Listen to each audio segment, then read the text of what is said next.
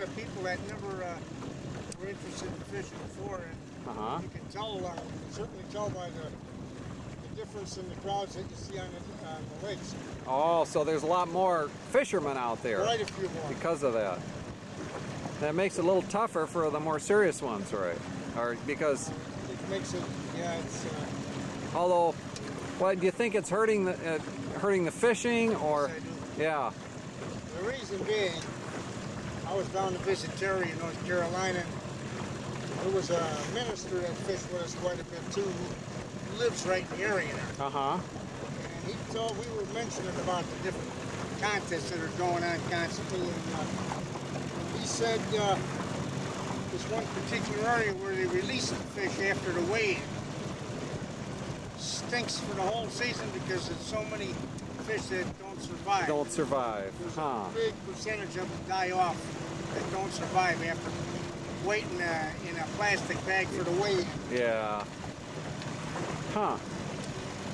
Yeah, at 80 de- or 90 degree water, and uh, that's probably pretty hard on them. Yeah, it's, uh, it's a shame. Uh, they, they would like you to think that uh, all of these fish survive, but uh, obviously they don't. they because don't. They keep on the water too long. Right. Hold them in a plastic bag where there's, you know, really Mhm. relaxed. Sure. And they've been bouncing around for the best part of the day in somebody's life well. So I would say, I would say uh, we've got a poor survival rate.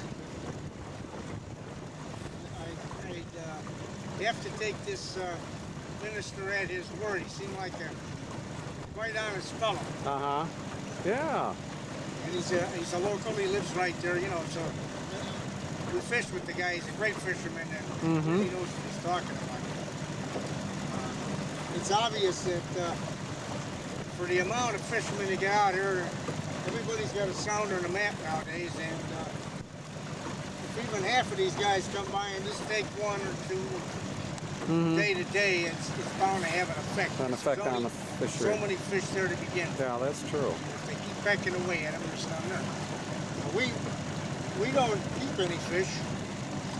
Terry and I fished uh, probably almost every weekend last summer, Mm-hmm. and uh, one day out of the weekend, and uh, I think we had one fish die on us, but everything else was returned to the water But- alive. Right back, right Yeah. away. Catch them another day, you know. Yeah, that's true. like to take the kids out there. You got different friends you want to take out. And if you keep taking the fish out of there, they won't be there. Yeah, that's true. I'm going to bring us in on the edge of this point again here. We'll work up the side of this. Okay.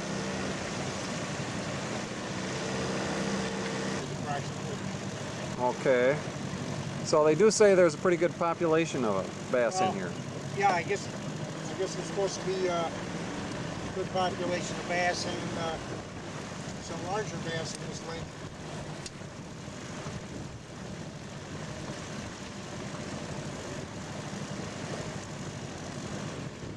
Now you're on this second bar working this little, or finger I guess you'd call Well, it, wouldn't you? Just a little finger sticking out here. And you're, you've been working this uh, fair amount. You're just, you, does this look a little better than the other one?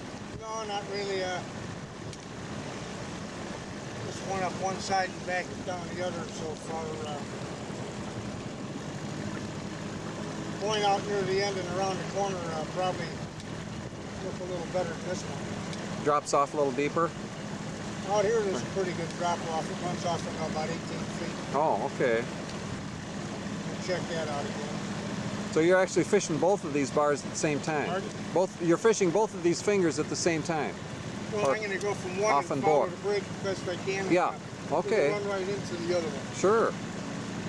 Pretty close together.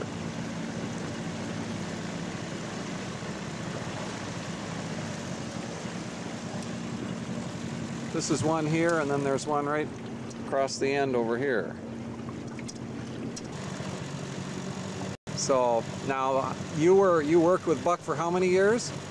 Over a little over a year, I guess. Uh, back in uh, 60, In I guess it was 1967, 68. 67 or 68. Okay. Back in those days, yeah.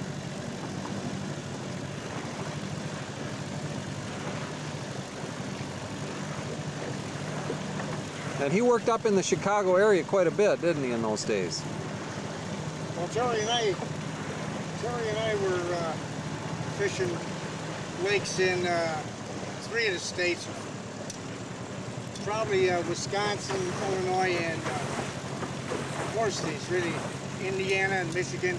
Oh, We were based out of Chicago, but we used to uh, spread out into all these other states looking around for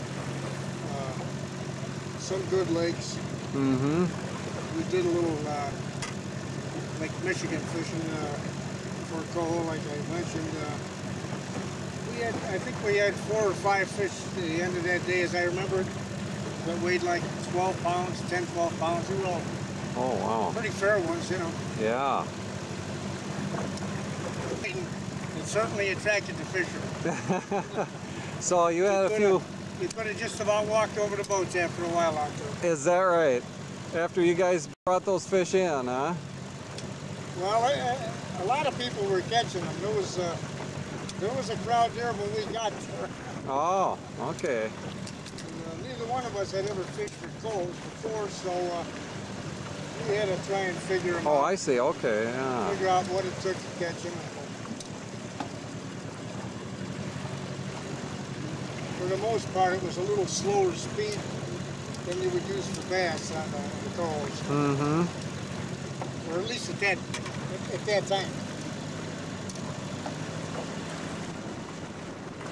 Anything else? Yeah. A lot of people are uh, very individualistic, and uh, but most of the true spoon pluggers are uh, guys that follow the, the known procedures and the rules that go with it. The guidelines? The guidelines, yeah, because these uh, things don't change. Yeah, yeah, These and are basic facts about the nature Fishing. of the fish, and they don't change. they don't change. What changes is the fishermen sometimes. Yeah. We're Okay. just talking about it. Some of these guys get their own ideas and like to add things, but uh, the fish don't change. So the basic, the basics and the, the facts on fishing are the same and were the same for millions of years then.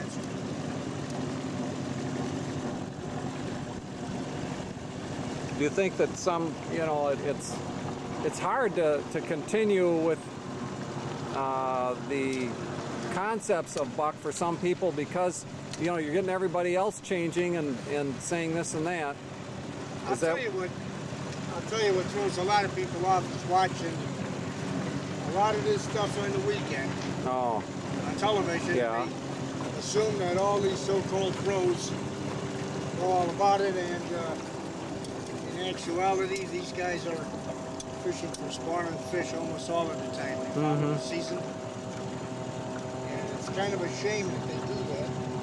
yeah. But it's a it's a big money business. They're selling you the whole package, There's a lot the of boat, the motor, you know, yeah. That's true. the entire package, and uh, all the fishing tackle. You know, uh, to go fishing uh, their way nowadays, you've got to have a a pretty good bank bankroll. We're talking about a thirty-five thousand dollar boat and tackle. Yeah. You're equipped with uh, the Yeah, that's true. and everything. It's not uh, something inexpensive. It's only an expensive package. Mm-hmm. and all the TV that goes with it, naturally this keeps people interested in it, Yeah. whether it be right or wrong. Yeah. They. You got a fish? I think I caught You got fish. Maybe you want to wind your line. I will wind my line. Okay. Either way is It fine. works with the sun a little better on it. Another fish. All right.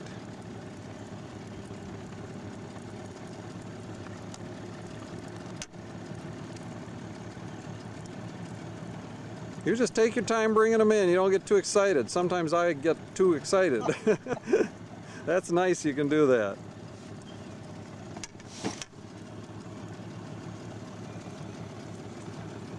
Oh, we got another bass. Oh, all right.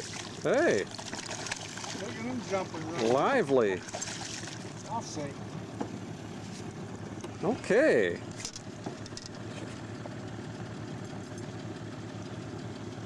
Yeah, nice healthy fish. He really took that too. Sure did.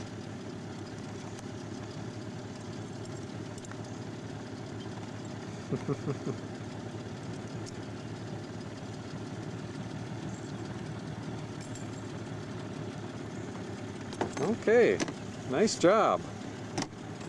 That's what we're after. uh, 250. 250. All right. Way to go. You're going back over that little uh, finger. You say the break is about seven, eight foot here? Well, right now it's at about six in here. About six. Okay.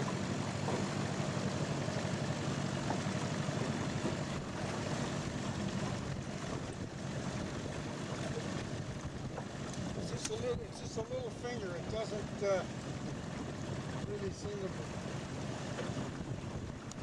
That great a piece of structure. Doesn't show that much, huh?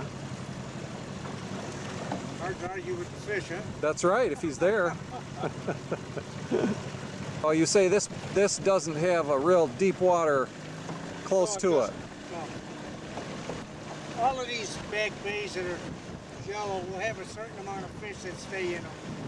But uh, it's not the kind of situation where you can run into a nice school bass. Oh, I see. Okay. This would be, uh, it'd be straggler fishing. Back in Okay, It's about back- the same thing as straggler fishing. Back in the bay Catch here. one here, one there, you know, Yeah. Okay. kind of deep water right there. The bigger bass, you, you look for the deepest. Yeah, they don't, they don't carry uh, too far from the deep water. So if you're hunting just for the biggest bass, you probably wouldn't uh, be fishing here a lot. You'd be Well, out. I'm talking any any fish about four pounds or bigger. Nine times out of ten, you're gonna find deep water very close by when Deepest- you catch it. Deepest in the area. Yeah. Usually it'll be a bar where there's deep water connected to it. Okay. Yeah, the deepest water in the area, that's usually uh, right on the money. Okay. Everything. I said it's a shame, but the truth does not always sell the best. Okay. Buck, Buck has got it all down true. You know, he's he's giving you the truth, but uh, I think a lot of this stuff they got on TV on the weekends is uh, That sells better. high pressure sell, sales, and that Yeah. has got nothing to do with what they're selling. Holes out there uh, hanging very loose to the structure. If you were anywhere within a block or two, it seemed like That they'd be in a big area. big area. They wouldn't stop right at the break like the bass do. But the bass are right on the break then. They really Yeah. relate close. Yeah, if you stay right on the break, this is where you're gonna locate most of the bass most of the time. So you like to fish Michigan and lakes? We did years ago. I haven't been over there now in uh, about two years, I think. Okay. But, uh, Which lakes were your favorite? You know, them are, them are kind of secret lakes. Kind of seepy lakes? Secret lakes. Oh, secret lakes. Yeah. Okay. Well, But, uh, we can keep them that way if you want. no, I don't even get over there anymore. And, and all these things change. Uh, yeah. a lot of the lakes we fished then are not the same now Different. at all. Different now. Yeah. Nowadays, you got this heavy fishing pressure just about everywhere. Mm-hmm. You think a lot of the heavy boat traffic uh, makes for some lakes uh, where the fish are not too active in the daytime and go into nighttime patterns? Uh, Or not necessarily? I don't think the, the boat traffic does that as much as clear water and, and uh, clear water Oh, uh, has more to do with fish moving at night? at nighttime. Yeah, Okay. yeah. Some of the lakes uh, it is so clear that they're really tough to fish successfully. And uh, my guess is that uh, the fish will be moving at nighttime, Mm-hmm. or very late, right at dusk. You know, Yeah. because we've put in some long days on some clear lakes, and uh, it's learning the hard way. It's uh, you're, you're trying to tackle the toughest lake in town. You know. Yeah. You ever- not easy to do. Done any nighttime trolling for spoon with spoon plugs? I'm usually wore out after a day's fishing. yeah, you don't need any more. Tomorrow. That's right. don't need it. You're putting yourself on the right type of a lake to begin with. You know, if this was one of those drinking water clear lakes, it'd be really, really hard to catch a fish because the sunlight keeps the fish from moving up. How much more difficult would a Clearwater lake be than a lake like this? I mean, how, Quite a bit difficult. Uh, quite a bit more difficult because uh, a lot of times it means the fish will stop. If they move at all, they'll stop at the very deep breaks. And you're talking about fishing 20, 25 feet of water before you even find out if the fish are there. Uh, even the small ones then. So, It's, it's just harder, harder to locate them. Uh-huh. They, they move for a shorter period of time.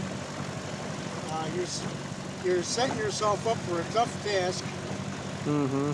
fishing the real clear lakes. That's why given a choice, I'll take a lake with color anytime. Uh-huh. Fishing. So you wherever wherever you go, you always check the watercolor first. That's Yes, number one. Yes. Before I even put the boat in. Most of the time I uh, will have heard something about a lake from someone to begin with, you know, Mhm. if it's a fishing lake or whatever. But uh, if I'm on a vacation and uh, gonna do some fishing, first thing I do is look at the watercolor. And a lot of times, there's a lot of different situations you'll find on lakes where uh, basically the clearest water will be found by the dam. The headwaters of the lake will be more, will be an area where you'll find more bars as a rule. Uh-huh. Um, and usually the water color in the headwaters will be much better. Some people say that you know that's more of a challenge, so they want to try the Clearwater lake to see if they can catch any That's fish. fine if they got that much time If they got that much time. want to do it. You're out here I look at it, there's only so many weekends in a lifetime. Yeah, that's If true. I work all week and I'm going to take uh, my girl out or take the kids out, I want them to have a fun time, not try to Yeah, not try to fish the toughest lake in town. yeah, That's that's the way. I look at it. Yeah. Yeah, there, you can catch fish out of any of those lakes. Uh-huh. You want to work that hard for them. To me, it's it's not worth the effort. Not worth the effort. It's off at a big disadvantage. Yeah. Why take why take the kids out there and uh, sit out there all day and, and catch nothing or miss about nothing? Mm-hmm. Well, you're going out there to have a good time, not a bad time. Yeah. How much do you uh, put on uh, reputation of a lake as far as what the DNR says and what uh, the bait shops say and things like that? I don't even check them out that much. Most of the time, uh, if I like the color of a lake, I'll find out for myself. Okay. Some. you don't always get an accurate report. Uh, DNR will sometimes take most of the fish out of a lake and put them somewhere else without letting anybody know about it. And you're out there fishing for just about no fish. Mhm. Uh, on the other hand, if you happen on uh, the lake that they put the fish into, you might find excellent fishing. Sometimes all this can happen in a big hurry. Yeah. They Right. do these things in a big hurry and nobody knows about it. but uh, with me, it's probably just about the same as it is with you, where I uh, listen to different friends of mine. Different friends of mine are having good luck one place or another, then usually we'll go back and Go back and. try fishing the same Fishing. lake. Okay. Makes sense. Known, but a lot of people that I fish with through the years, clear water lakes are uh, you're putting yourself at a disadvantage if you take if you take the family out there. Uh, unless they're going to fish for bluegills or panfish, they, they may catch some of them. But to try and put them onto some big bass or big northerns, uh, you're you're uh, stacking the deck against yourself. Mm-hmm. Fish. You say all all that Buck has said in his book. What You tells you the truth? you believe. Yes. Yeah, Buck, Buck's giving you the facts about the fish. And uh, like I said before, the truth isn't always the best sell. Uh, he's up against Yeah. looking the odds. Uh, nowadays, you've got all these professional, professionally done uh, fishing programs, and they're out to sell you something. Uh, Mm-hmm. Show you the truth about what it takes to fish successfully. Why do you think the uh, it's just hard to sell the studying and classes on spoon plugging, isn't it? Is that one of the well, reasons? it's uh, a lot of people expect to get everything easily, and learning this is like learning anything else. It takes some effort, and it takes some practice. Time on the water. And yeah, and really, it's up to the person that wants to learn it as to how fast you're going to learn it. Mm-hmm. More time you're able to put in on the water and concentrate on, uh, it's like anything else. You you get the uh, the basic ideas, and uh, then you work on polishing up your whole uh, fishing habit. So it's not just knowing the material; it's experiencing it, getting out. Oh, sure. I mean, the the written material. Your life experiences on the water, uh, like anything else. The more you're out there, the more you learn. But you know, uh, it's nice to be able to pick the nice, the nice uh, fishing days to go fishing. But with most people, You know, you have to go fishing when you have the time to the do it. Yeah, right. And it may be a sunny day, and you don't have a choice in the matter. It's either go today or don't go at all. Yeah, right. A lot of times you can enjoy a day on the water and you can do some exploring and check out spots that you hadn't checked out before and look look at them carefully and see if they look like the kind of spots you think will hold the fish. So Mm-hmm. when you come back on another day, I think we're full again.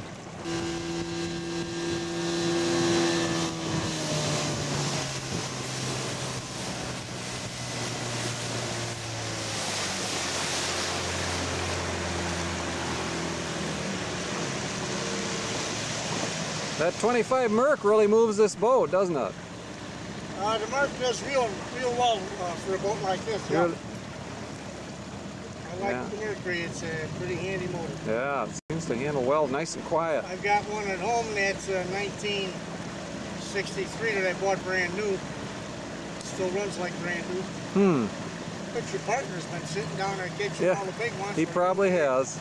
They're out here jawing, huh? Well, now you you like to set the hook on the fish. Always set to. Always set the hook, but not overset. You don't want to rip it out of his mouth. No, uh, I like to give one, give him one good pop so you know you got the hook in him. Okay. You were saying if, if uh, he's hooked so poorly, uh, you know, you can't see what's going on. And if he's hooked that badly, uh, just as well if you lose him right off the bat. He's coming off anyway. Sure. Okay. Do you notice any? Uh, do you do any differently when you're working wire? I don't, I don't work with wire that often if I don't have to. Wire is a real direct connection between you and the fish. Uh huh. It's, it's a little bit more work involved with it. Right. Oh, yeah, so you can grab it in a hurry. Yeah, to set everything out where it's handy to get in. Okay. Yeah, your tools and uh, Right. cutters and everything. Great. Got a spare set here in case they would get lost. Oh yeah. Okay. Great. Locate your spots by trolling, particularly if, if it's a lake close to home, uh, or one that you fish quite often. You can you can locate the fish a lot quicker uh, by trolling, Trolling. and then give your spots a good look and learn learn uh, where to anchor your boat properly. Some of this only comes with a little bit of practice and trying it from one position or another. Mm-hmm. And only by trying it, uh, a lot of times you catch fish from one direction but not from another, so you'll learn the best approach to each individual spot. There's times when it doesn't seem to make any difference, but then again, there's a lot of spots where you have to hit them just right or you won't get a strike. Uh huh. Yeah, I got a real nice one down there on a 400. A four.